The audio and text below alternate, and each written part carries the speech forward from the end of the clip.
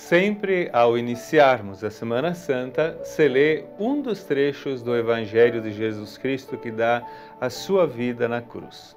Quando os cristãos levam os ramos, sabemos que logo será a Páscoa do Senhor. Aquela semana será diferente, terá uma profundidade espiritual muito especial. E nela, por exemplo, viveremos a entrega de Jesus no Tríduo Pascal, na quinta-feira à noite, na sexta-feira e no sábado, quando então concluiremos o Tríduo Pascal vivido e celebrado. Passado o sábado, teremos a celebração da Alegria Pascal, o Domingo do Senhor. Muito profunda também, visto que nenhum cristão batizado pode faltar numa dessas celebrações. As três são importantes igualmente. Em Jerusalém, Jesus entra jubiloso. Ele sabe o que irá acontecer lá em Jerusalém. Lá irá realizar o seu mistério pascal. Ele entra jubiloso, feliz, numa jumenta. Os ramos dão acolhida ao Senhor, o nosso Rei. Os ramos que trazemos são boas-vindas ao Senhor Jesus Cristo. E naquele tempo gritavam e cantavam: Hosana ao filho de Davi, bendito que vem em nome do Senhor, Hosana no mais alto dos céus, em Mateus 21, 9. Ele é acolhido muito bem. E o próprio Jesus Cristo sabia que depois de algum dia, essa mesma multidão chamaria ele para ser crucificado.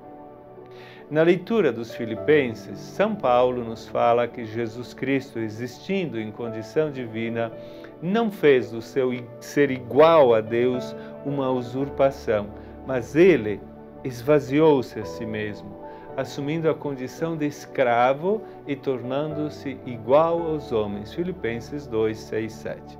Jesus Cristo se mostrou sempre muito humilde simples, misericordioso. Ele ficou calado durante todo o tempo da sua paixão.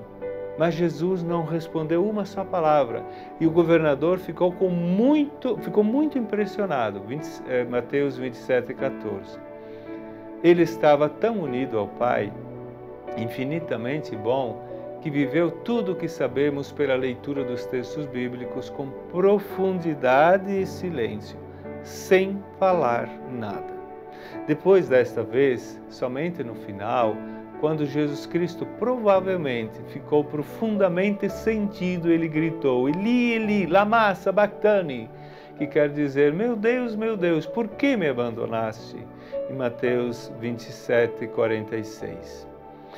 Este é o tempo do silêncio, de não fazer muito barulho, nem barulho externo, não, não só interno, mas também externo Quantas vezes ao dia vou recordar disso?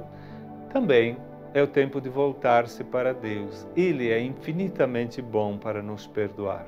Sempre que tivermos algum pecado, é só reconhecer e dizer a Ele na confissão.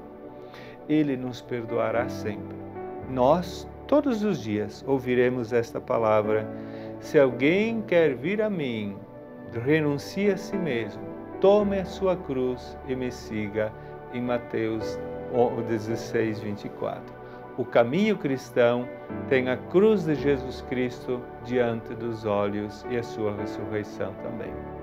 Que o Deus infinitamente bom, pela intercessão de Nossa Senhora Aparecida, que temos aqui conosco, Ele derrame sobre vós a sua bênção, em nome do Pai, e do Filho, e do Espírito Santo. Amém.